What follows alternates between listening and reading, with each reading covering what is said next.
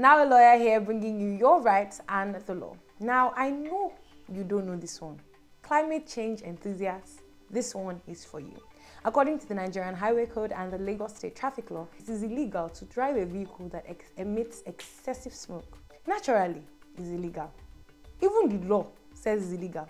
Morally, it's also illegal. Because why are you going around polluting the atmosphere? Because you refuse to fix what's wrong with your vehicle.